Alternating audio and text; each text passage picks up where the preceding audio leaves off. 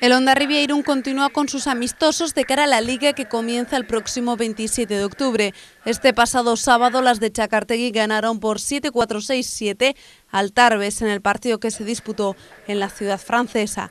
Las tres jugadoras que llegaron el viernes, Seintamán, Liene Jansson y Mónica Veselovsky, también jugaron y todas realizaron un buen partido, a pesar de haberse ejercitado tan solo un día con el resto de sus compañeras. Individualmente los puntos de cada jugadora son los siguientes. Tania Quintero anotó 8, Ana Suárez 2, Begoña García 3, Maite Chica 6, Mónica Veselowski 11, Seintamán 8, Liene Jansson 9, Itziar Maya Barrena 2 y Shameca Cristón se llevó 25 puntos.